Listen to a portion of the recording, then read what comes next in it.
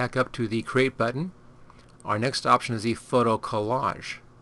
And this will take your pictures and then lay them all out onto a big sheet. It's kind of a big mess of pictures. There you go, big picture mess.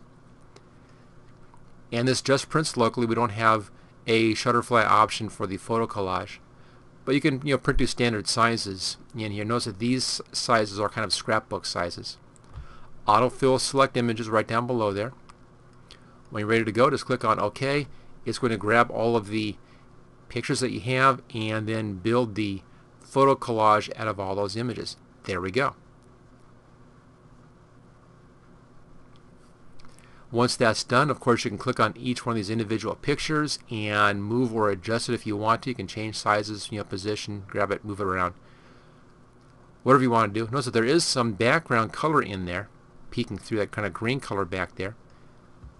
On our layout, we have some different looks. We have these big mess looks in here. Let's go to this different layout. Let it do this different layout. There we go. Let's go up to this layout which has some background showing. There it is. Or these layouts. And of course we have graphics to match. I can click on image, double click on a frame for that image. There we go. Let's go over here and double click on the same frame. I'll just give these images this thick black frame. Let's take this, bring this one in a little bit further. There we are and of course backgrounds and lots of graphics in here. All the graphics of course are taken from the full graphics set but only the ones that match the current theme will be included. You can always change those you know later on. Let's just change our background here. Double click on the background. There's that new background look. So there we go. That is working with the photo collage. Pretty straightforward, pretty simple. Let's go back to our frames again. And we have a lot of frame options as you can see in here. This is probably our biggest choice. I'm thinking those frames are a bit are a bit much. I'm just seeing if I have anything else to be a little bit more subtle. Maybe one of these basic gray green. So I'll click on an image, double click. Had to download that frame, but there we go. Once it's downloaded, it's on your system and it doesn't need to be downloaded again.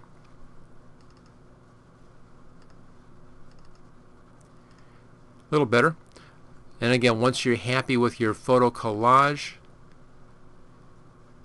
everything's where you want it, just click on Save and then save that as a new project file. See right here, Photoshop project format, the PSE format.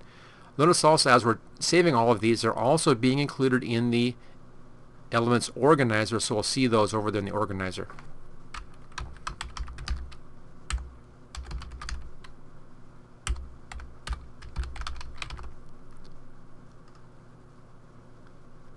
And let that save out. Once it has saved, then just click the close button to close down that editor. Thank you for watching my video. I hope you found it useful. If you like this video, click on the like button below to let others know.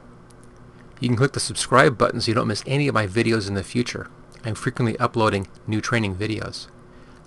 Don't forget to check out my website at howtogurus.com. You can share this video with your friends and coworkers. Just click on share and then click on the social media buttons. Feel free to comment on my videos. I try to answer all comments as quickly as I can. And finally, you can get all of my training videos on DVD at howtogurus.com. Thanks again for watching.